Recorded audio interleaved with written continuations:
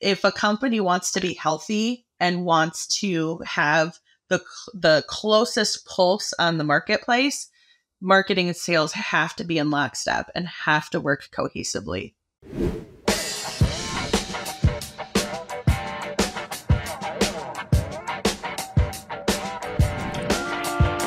Thank you for tuning in to the Wisenetix podcast. My name is Daryl. I'm the head of sales here with Wisenetix, and today I've got Tera Baker with me from NEDAP. You know, Tera is a farm kid from Michigan turned agri marketing guru. She works as the North American marketing manager for NEDAP's livestock business, and translating the story of cutting edge technology to American farmers and, and their supporting network. And she's also a partner with her husband on a precision agriculture dealership and cropping farm. Um, she's proud of her professional work, but the real sparkle in her life comes from her one year old daughter and her show cows. Uh, you know, Sarah, how are you doing today? I'm doing wonderfully, Daryl. How are you today? Hey, I'm doing fantastic. I appreciate you asking. Um, super happy to have you here on the show. I'm glad you asked. What a what a fun activity to do. I love talking to talking to folks like yourself and talking to the market about about what I do and how I view the industry. So, what a neat opportunity. Awesome, awesome. I, I love that you uh, you're, you're, saying all that because it is actually really fun to do this too. But uh, just to kind of start, tell us a little bit about yourself. Sure. Um, I'm hailing from Michigan. Um, my professional work is with NEDAP, which is a publicly traded company on the Dutch Stock Exchange. And we are busy with technologies in a lot of different industries, but I work within our dairy sector. So we are future proofing dairy farms by revolutionizing cow side care through technologies and activity monitoring, cow locating, milk metering, and identification. So that's our bread and butter, and I spend uh, most of my time doing marketing for NEDAP. Awesome, awesome! I love hearing your your like quite deep in dairy. It sounds like. yes, yes. We have a long history dating back to the 1970s, uh, working in dairy and pioneering some um, tech solutions for the dairy space. So it's it's deep in our roots um, as a company as well as for me personally. So there's nice alignment there. That's awesome. And you know, with all of that, what would you say are your top three achievements, and what did you learn from those experiences? Um, personally, my family, of course. Um, I had uh, my daughter last year. My husband and I were excited to welcome her um, into our family, and she's been a breath of fresh air. Um, a huge challenge. Uh, as anybody that has children knows, it is a game changer for what your daily life looks like. Um, but she's just everything and more that we could ever have dreamed of. So I'm, I'm very proud of my family um, and love to to watch each of my family members grow. So that's a fun fun part of life for me. That is awesome. Yeah, yeah. I guess a couple of other achievements. You asked me this ahead of time um, to kind of think about it, and it's always awkward to to go down this trail a little bit. But um, one thing that I really enjoy doing is professional development. And um, I actually am also very competitive, and so when you can bring those two together, I find a lot of joy in it.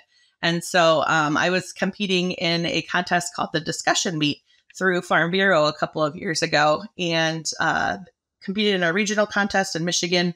Um, it qualified to go on to state. So I went to the state contest, just kind of curious to see how the contest would go. And I ended up winning it. And so then I ended up going to the national contest.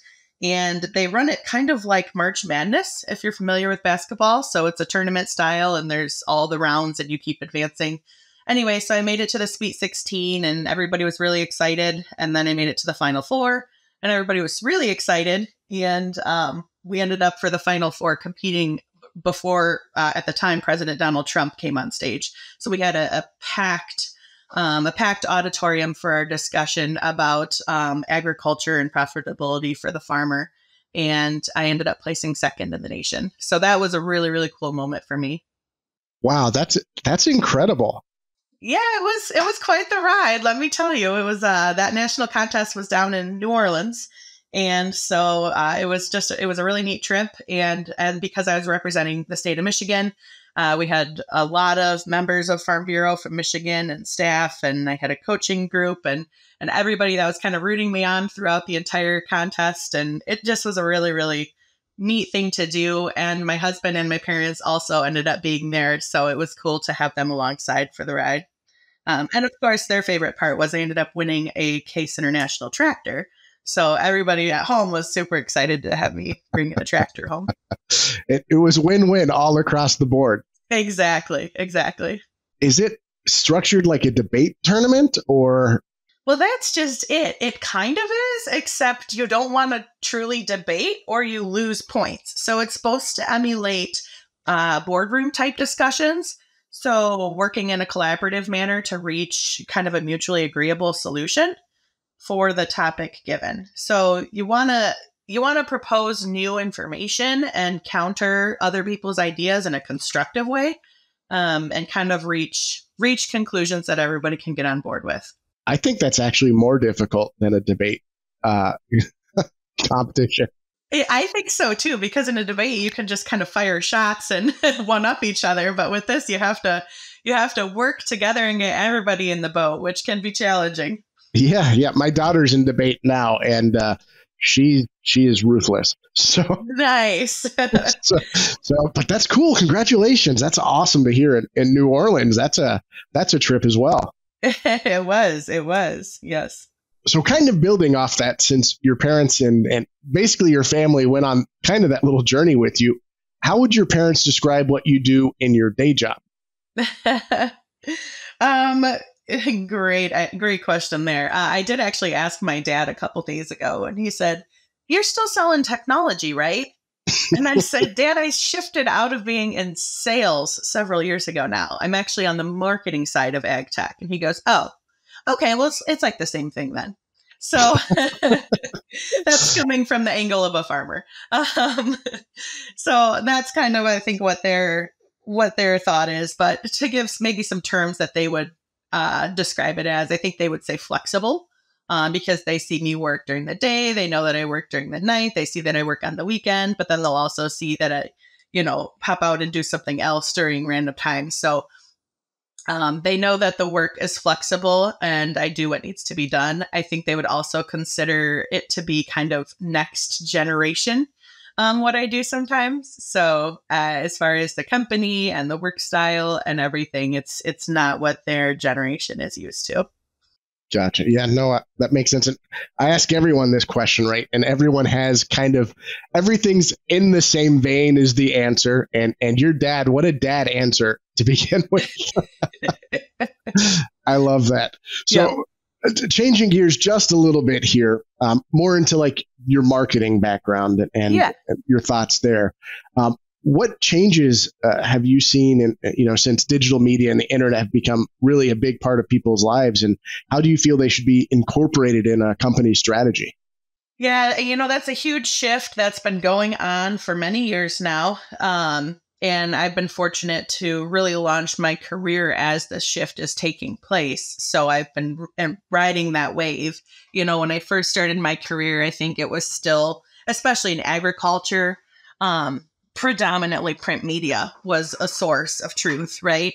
And that's where a lot of uh, farmers, which is you know the end customer of my business, um, would go for information or finding out what's new um, but we've seen some shift there, although agriculture does defy the odds a little bit in those trends. Print media is still alive and well. Um, but yeah, the shift to digital marketing and the plethora of uh, ways that you can go about that is exciting, but also really ups the ante for um, having uh, making the right decisions, I guess, about how to go about it because there's so much more noise now.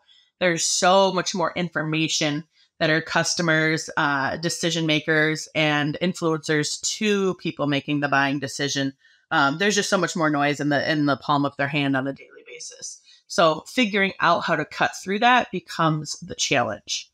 Um, and also, I think there's a really heightened element of skepticism or maybe distrust in the information because we've seen so many um, negative things go viral, especially in agriculture. We've seen some uh, attacks on animal ag, and and in the farming community, we know the dishonesty behind you know how some of those videos have been manipulated, and there's just a lot of things like that that I think have created some of that skepticism behind what we see online, and so I think that also makes it that much more difficult um, from a marketing standpoint to figure out how to cut through that.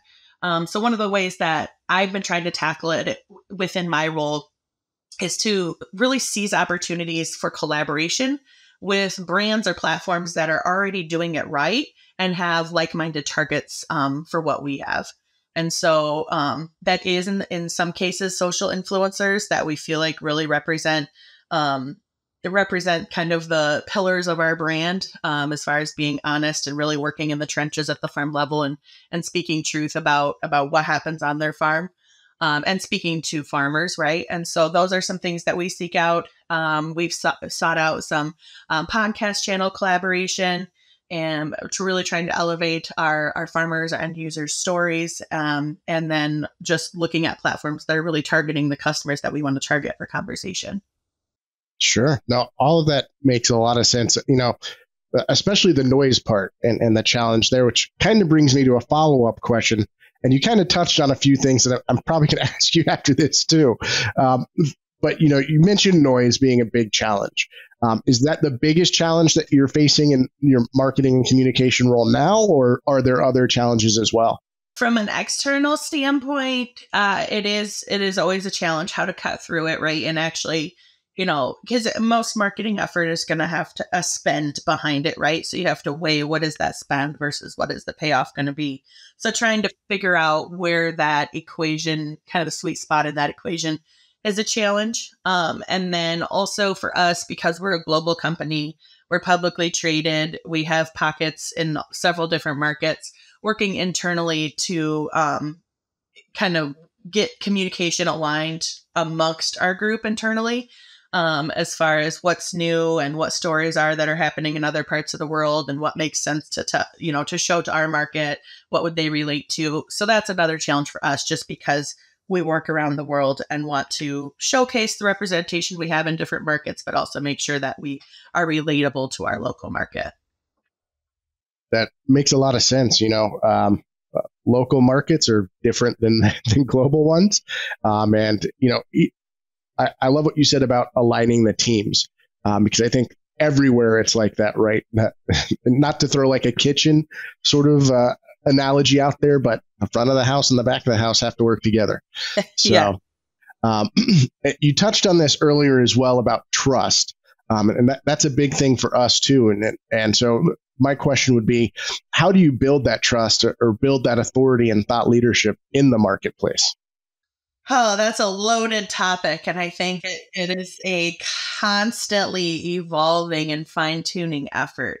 Um, one of the, one of the like just low hanging fruit basic things that I see a lot of companies still stumbling on that I, I try to continuously try to do right within our organization is, is just imagery.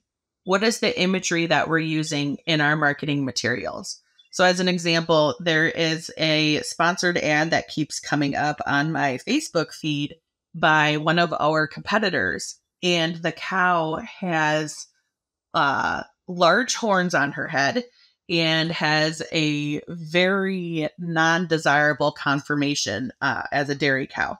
And so every time I see it, I cringe because I'm like, if you know anything about dairy cows and dairy farming, you know that this is not the cow you want in your barn, nor does it represent what our modern farming practices call for. And so um, just little things like that, like th- to me, that's a turn off immediately, right? To to our consumer because it shows that we don't we don't know what they do and we don't know what they value. And so I try to make sure that the imagery that we use is always the modern dairy cow uh, with modern environment behind them that appeals to our local market, which is different than other parts of the world. So, as an example, if you're in Ireland, most of your photos are going to have cows in a grazing environment, um, which isn't depictive of the the U.S. Um, dairy environment. So, there's just those nuances around the world that we try to be cognizant of. Um, but just really kind of thinking about how is our look and feel um, to the market that we're trying to serve. So that's a big part of it. And then um, as far as just really trying to build that that brand authority and thought leadership, I really try to tap into the expertise of my team.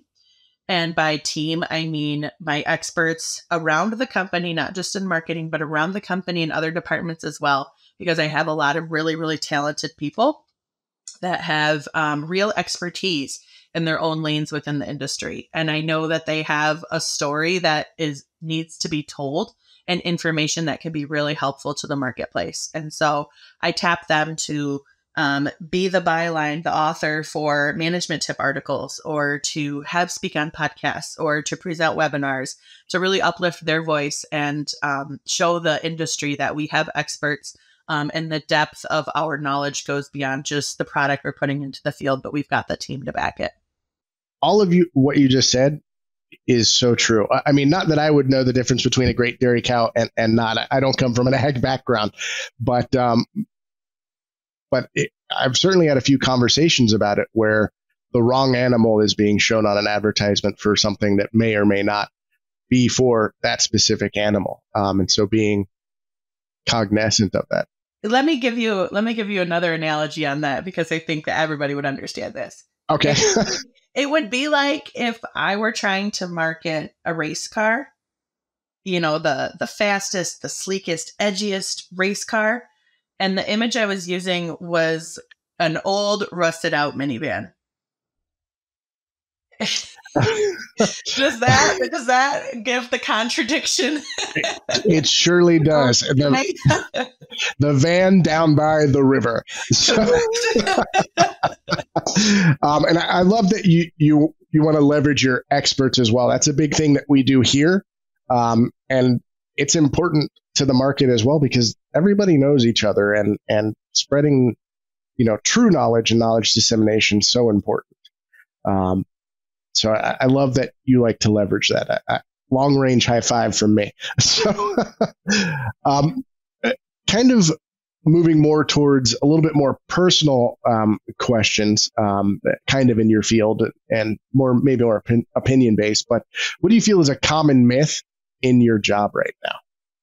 Oh, I've heard lots of stuff. Marketing makes pretty brochures. That's what marketing does.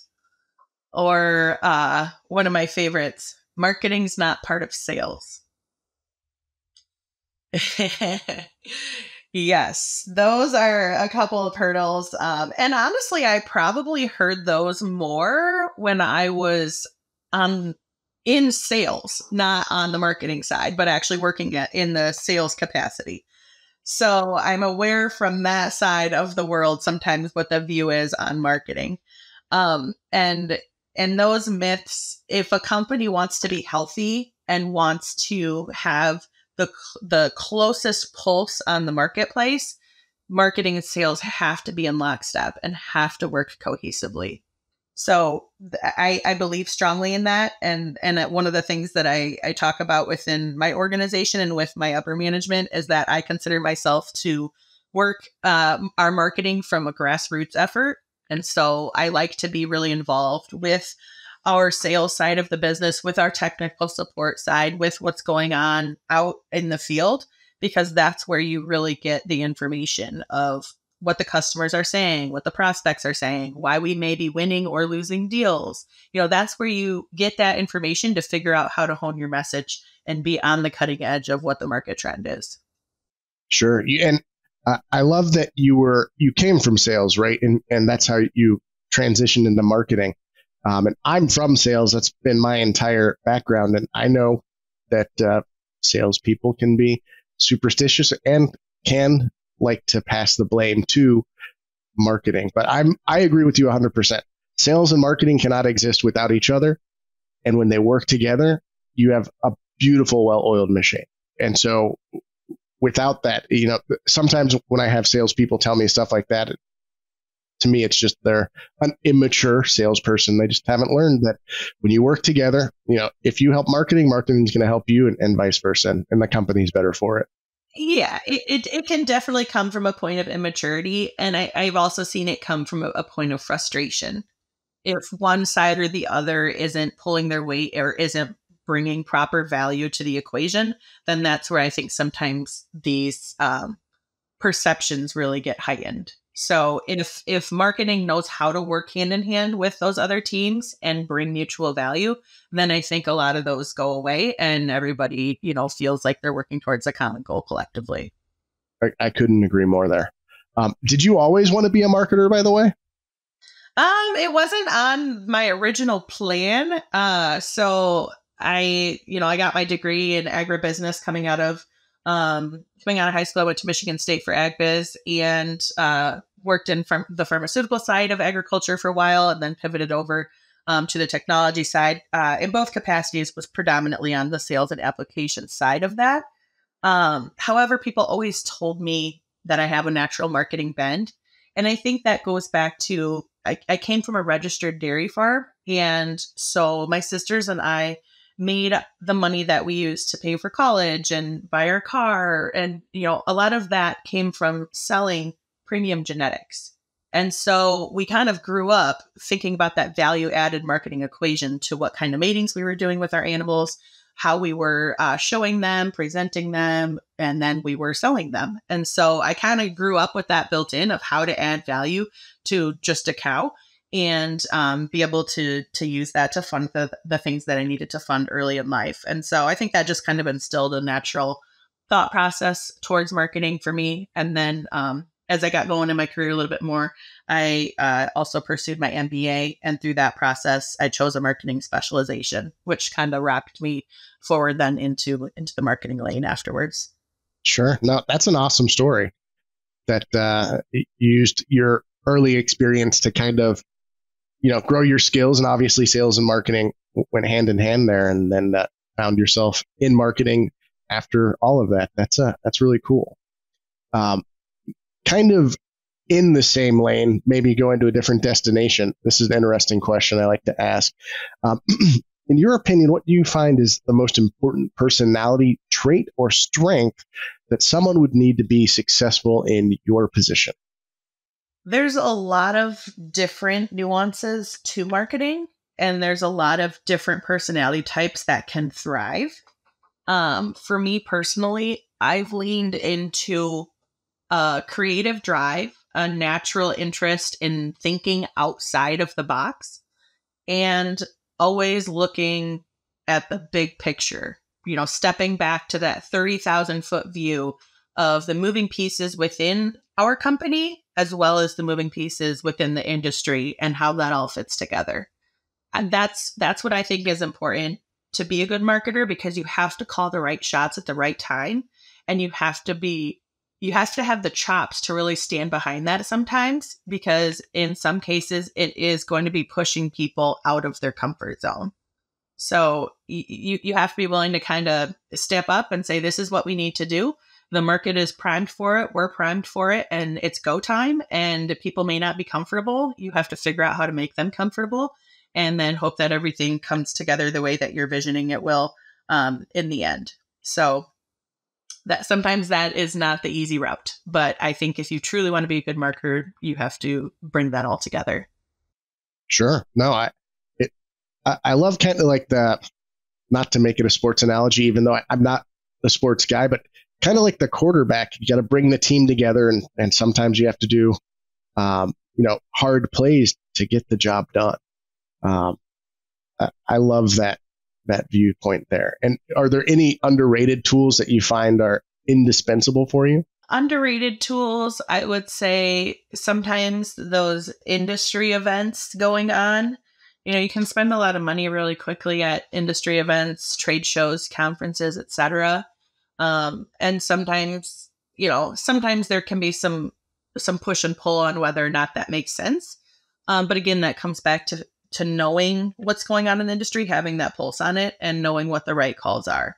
So, as an example, um, we had World Dairy Expo here this fall, and it's it is a big show, but there has been some shift in recent years um, of you know whether or not the trade show is is really viable or really a place that that dairy decision makers are going to to do their business. And I think you'll see that in a lot of agriculture and maybe other industries as well. Are trade shows the place to be anymore, or is that a changing dynamic?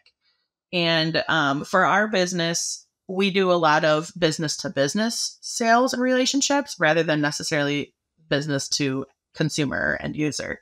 And so for us, that show is kind of a meeting grounds of the industry. And we have a lot of those B2B meetings. We have a lot of the, the B2B contact.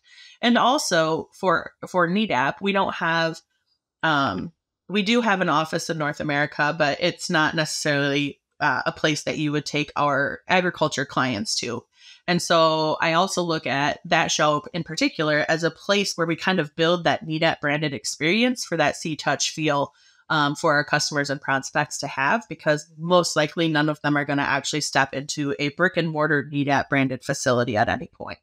And so taking a lot of that into account, um, I did have to fight a few battles going into that show this year on whether or not it was relevant for us to be there.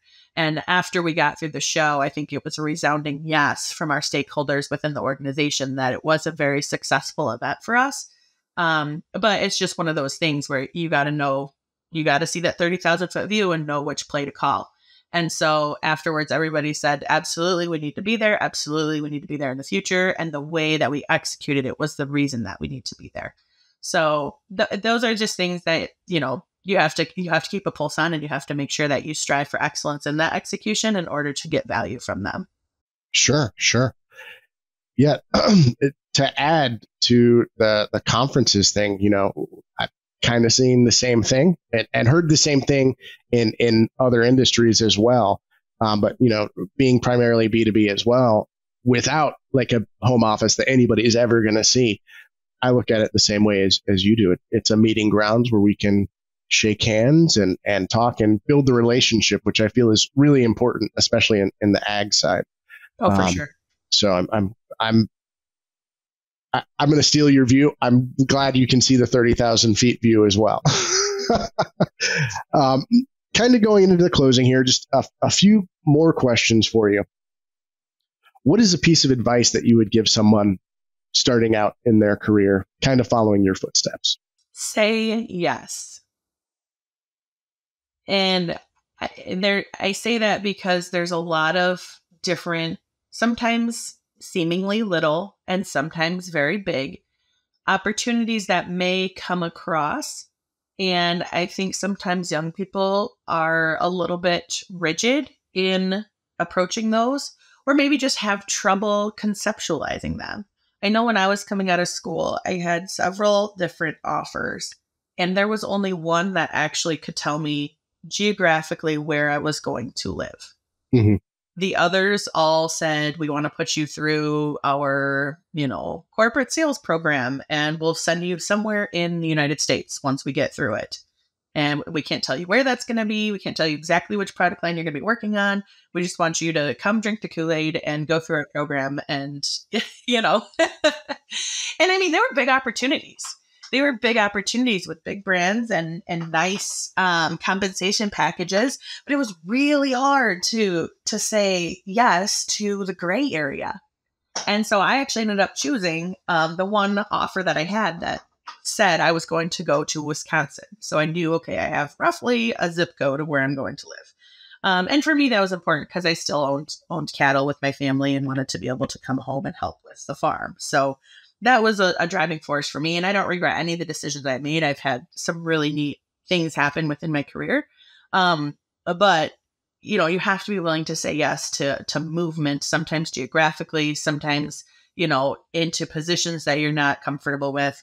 Um, sometimes it's even just saying yes when somebody says, Hey, do you wanna do you wanna join our kickball league? So I recently had a con when I lived in Wisconsin, give you a backstory. When I lived in Wisconsin, uh, somebody was like, Hey, I got this kickball league going on Tuesday nights or whatever. We need another player. And I said, Sure, I'll join. And it was just a, a fun time. Now we fast forward about 10 years later, and um, a trade show that I recently did has a new manager of the show. And turns out it was the guy that coordinated this kickball team I was part of. And the show is notoriously difficult to deal with. It's hard to get a good booth space. It's hard to it's hard to work with them.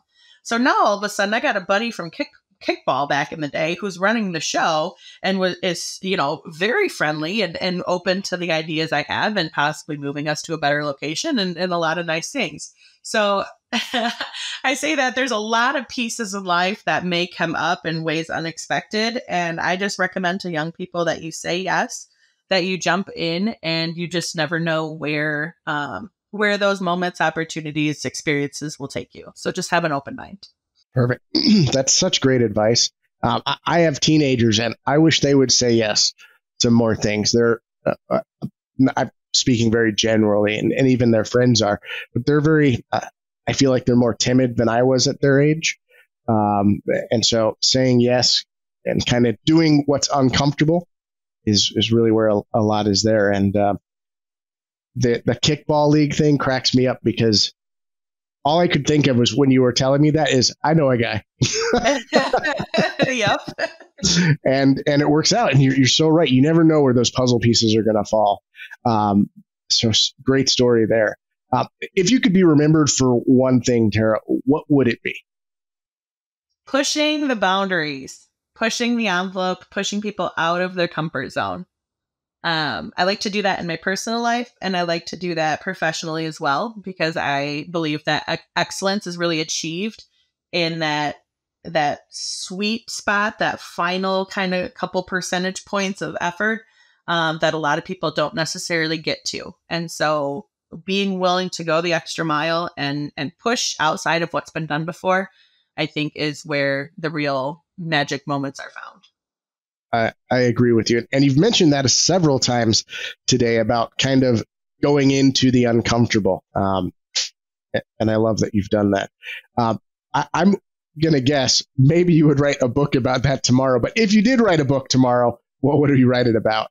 um, I, I, I could, yes. I, I may be known as a pusher, and so that that may be one. Um, another one though, uh, maybe didn't come out as much of this conversation, but uh, you know, I came, I grew up through a, a family farm, multi generational farm.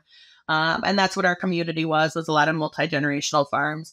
And I've seen some of them be really successful and I've seen some be very dysfunctional. Um, just because of the workload and demand that happens at the farm on a regular basis, and then the challenges um, financially with being such a such an asset heavy um, and liquid liquidity light type of a business structure, and um, so I think there's just a lot of really interesting stories about agriculture and the American farmer, um, especially kind of being the backbone of our country uh, and and the heroes within um, that sometimes people don't necessarily know about. So I think that would be probably where I would want to to write a book. Yeah, no, I would love to read a book about that. Um, you know, I, I, said earlier that I don't come from ag, um, but the more I learn about it, the more I would have loved to know about it as I was coming up through school because it's so much deeper than I had imagined based on what I was told and what I saw. Um, but your book title should be I may be known as a pusher for sure. um, last question for you, Tera. Where can our listeners find you online? Uh, I personally am present on Facebook, LinkedIn, LinkedIn, Instagram, and Snapchat. Um, if you want to find me, Tera Baker. And NEDAP uh, is found on Facebook, LinkedIn, Instagram, and Twitter. Uh, NEDAP Livestock Management, uh, NEDAP Dairy Farming. So please come follow myself and our company um, and hear what we're up to. Awesome. Well, Tera, thank you so much again for being on the podcast today. Thank you for having me. It was a pleasure visiting with you. Yeah, likewise, likewise. And everyone else, thank you for listening. Again, this is the Wisenetix Podcast, and we're signing off. The journey of a hero has challenges, battles, and villains. But after the fight is won, new paths are open and it's time to catch our breath and move forward. More powerful and super than ever. And you, hero of the swine industry, do you have your cape ready to take new flights? Swine Talks 2023, December 6th and 7th. Together, we're more super than any obstacle.